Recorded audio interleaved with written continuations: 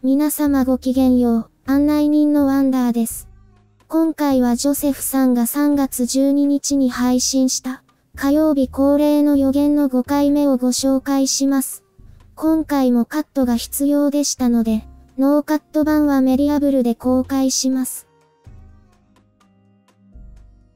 2024年3月12日の予言。また以前にニューヨークで何か大きな事件が起こるとお伝えしました。2001年に起こった事件を思い出させます。それは愛国者法が議会を通った直後に起こりました。この影響でニューヨークシティは完全にシャットダウンしたのです。国防軍が街を占拠し、戒厳令か厳しい外出禁止令が敷かれるだろうと思いました。外出禁止令を出しても効力はありませんが、この事件発生によってかなり厳しい状況になるでしょう。この事件がいつ起こるのか私はずっと聞かれていますが来年の今くらいまでに起こると思います。スピリットは私にいつかは言ってくれていません。でも私が感じているのは大統領選後混乱が起こり、その他諸々の問題が積み重なって大混乱になると見ています。木が熟するのを待っているかのようです。とにかく混乱は選挙シーズンのあたりで巻き起こるでしょう。ですからすべての都市に光と愛を送りましょう。ニューヨークに住んでいた人々がすでに何千人と家を売って逃げ出しました。でももうすぐニューヨークで短い不動産ブームが起こるでしょう。多くの人々が家を売って逃げ出したいからです。たくさんの家が売られるということはここ2年ほどの間不動産の価格がほとんどの地域で40から60%下がることが見込まれます。もしかしたら来年だけの減少になるかもしれません。興味深いことです。ずっとニューヨークに住んでいたたくさんの友人がいます。彼らのことを考えると辛いです。スピリットが今私にビジョンを見せてくれました。大きなスーツケースが運ばれてきました。スーツケースのようなもの、何か結構大きいサイズのものです。それはちょっと不審に思われます。運んでいる人たちも不審に感じます。黒い肌の人ではないのですが、朝黒いくらいで中東あたりの人なのか別の地域の人なのかよくわかりませんが帽子をかぶっていて、私が思うにニューヨークのどこかの建物に入っていきます。彼らは何かを地下に設置しています。地下ということは車庫ではないかと思います。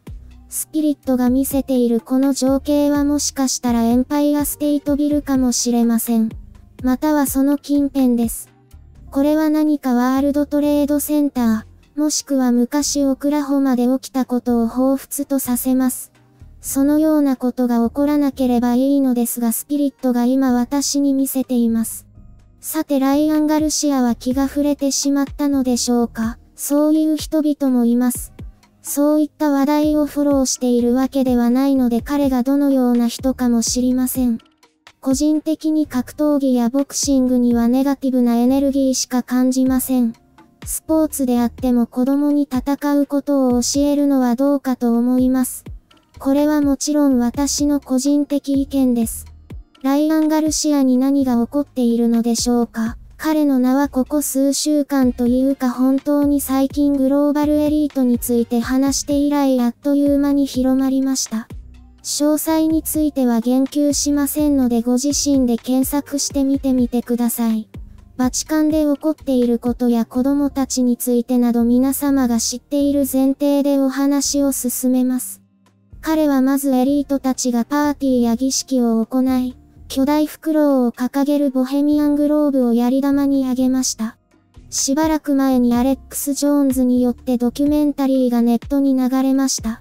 彼は過去にもたくさんのドキュメンタリーを制作してきた人で、それもなかなか良質のものでした。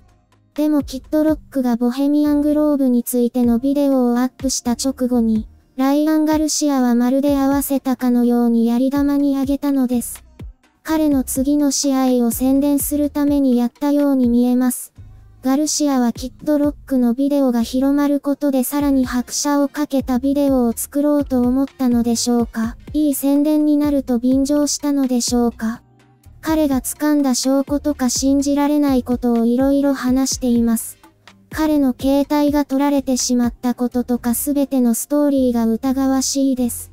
私は彼の切り抜きをすべて見たので分かっていますが、彼は基本的にエリートたちが何をしているかについて嘘は言っていません。彼が言っていることは実際に起こっていることです。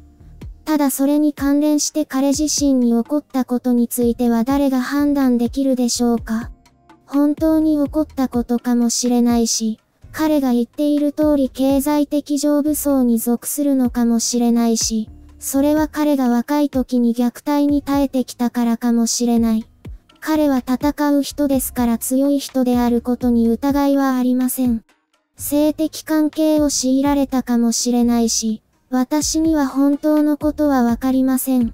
私がはっきり言えることはこれは来たる試合を押し出す策略であるということです。もちろんもっと多くの情報を流すためのいい機会であると思ったかもしれません。でも彼が言及した情報はもうすでに私たちが知っていたことだけです。彼が世の中にスポットライトを浴びさせた情報はもうすでに出ていた範囲に過ぎません。でももしかしたら彼をフォローする人々の多くがこのことを知っていなかったかもしれません。だってたくさんの人々は今この惑星で何が起こっているのかさえ気づいていないのですから。ここから何かが展開していくのでしょうか？それは疑問です。彼らは一瞬にしてガルシアを消すことができるのです。彼がリングに上がる前に小さい針でつついてリング上でノックアウトさせ、試合でなくなるように見せかけることができるのです。それが彼らのやり方です。歩いて通り過ぎる時にチクッとするのです。あれ、今のは何だったんだろうと思うでしょう。彼自身わからないほど素早くできるのです。おそらく倒れるまで20分は持つでしょう。まるで虫を殺すように。実際にこういったことが行われているのは周知の事実です。ですから私たちはライアンに注目していなければいけません。彼は嘘は言っていないので近い将来引きずり下ろされるかもしれません。彼の個人的なエピソードがもし本当であるならば間違いなく消されることになるでしょう。彼らの手口はまずあなたを経済的に追い込むことから始めます。彼には何千万ドルの価値があるし若いですから背後に気をつけてくださいと忠告したいです。もちろん同時にこれは彼の試合にとっていい宣伝になります。100%確かなことです。もっとお金を生み出します。そして私が思うにこの世界にある色々なこと。例えばフットボールの試合にもその陰で定番で行われる仕掛けがあります。その勝ち負けはギャンブル3号が関係してきますのでギャンブルの世界で不正はつきものです。4ゲーム目で彼らは失速すると言われればその通りに4ゲーム目で勢いがなくなるのです。この話題をしようと思ったわけではないし特にスポーツに関するそういった不正に興味はありません。特に暴力的なスポーツに私は興味がありません。今スピリットが見せてくれたのですがガルシアの頭に何か異常が見られます。彼が今まで受けてきたダメージのせいでしょうか。でもこれは今回彼が声を上げたのとは何の関係もありません。それで気が触れたわけではありません。彼が騒いでいるのは世間の注目を集めるための策略です。もちろんその中で真実も述べられています。正しい意図もいくつか感じられますが彼の策に間違いありません。ただ彼は頭部に気をつけなければいけません。大事にしないと彼は長生きできないとかひどい片頭痛などの問題を抱えるでしょう。4年以上続けたならば何か起こるとスピリットは言っています。ライアン・ガルシアが将来試合途中かその直後に亡くなってしまうことは驚くことではないのかもしれません。いかがでしょうか？ボブ・マーリーは最後衰弱して亡くなりましたが、ある人物にプレゼントされたスニーカーに針が仕掛けられていたのではないかと言われています。こちらで配信できないお話や、審査に落ちて配信できなかった動画などはメディアブルで配信中です。概要欄にリンクがありますので、ぜひ一度訪れてみてください。